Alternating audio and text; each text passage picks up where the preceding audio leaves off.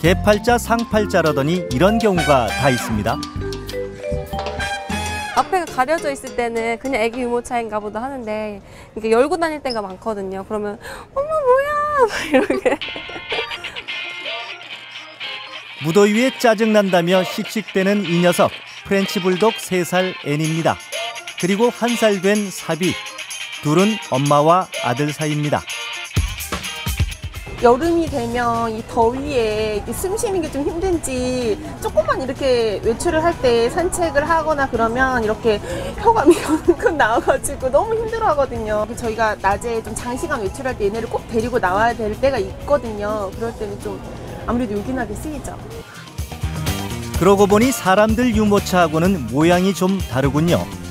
강아지 전용 유모차, 이른바 개모차인데 가격대도 몇십만 원에서 많게는 백만 원을 넘어가는 것까지 있습니다. 좀 아버님 세대 같은 경우에는 정말 이해 못 하시는 분들은 이해 못 하시거든요. 그러면 그냥 아무 말 안 해요.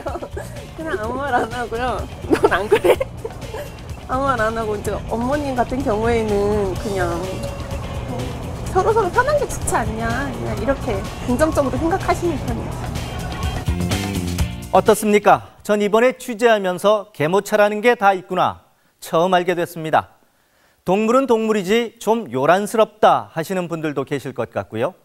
동물을 사랑하는 마음이 보기 좋다 이렇게 생각하시는 분들도 계실 것 같습니다.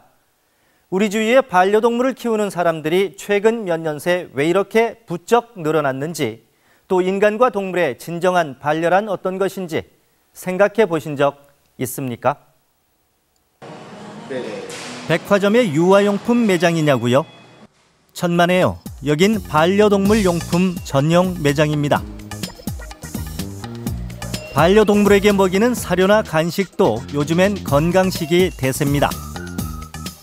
대부분 양고기 그리고 사슴고기 원래는 예전에는 닭고기 종류가 굉장히 많았는데 지금은 알러지 있는 강아지들이나 이런 강아지들 위해서 약간 양고기 오리고기 이런 게 조금 더 잘 나가는 편이에요. 강아지 옷은 물론이고 한여름 물놀이용 구명조끼도 눈길을 끄는데요. 더 놀라운 건 이런 용품들이 불티나게 팔려나간다는 겁니다. 예전에는 그냥 몸만 가리는 용이었는데 이제는 패션으로 들어가는 거예요 옷이. 사람 깐나내기 키우듯이 하시는 분들 굉장히 많아지셨거든요.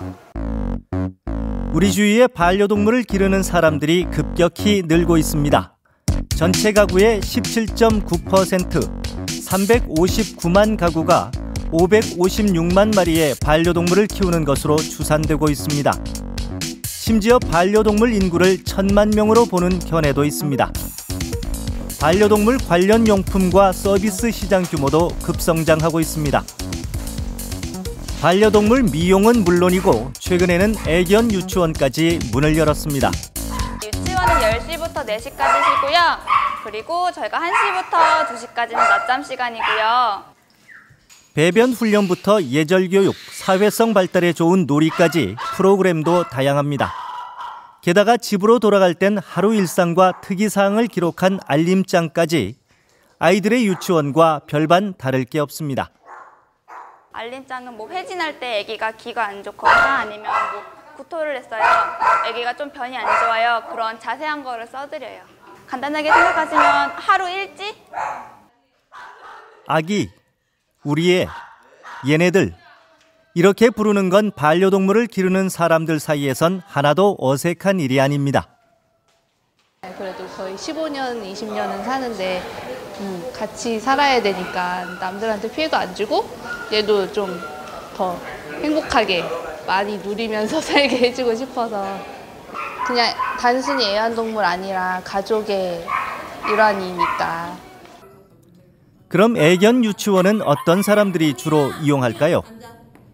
가족분들이 다 일하러 가시거나 아니면 집에 사람이 없을 때 아기가 혼자 있어가지고 많이 외로워하거나 아니면 조금 혼자 두기 불안해 할 때 많이 유치원에 오시고요.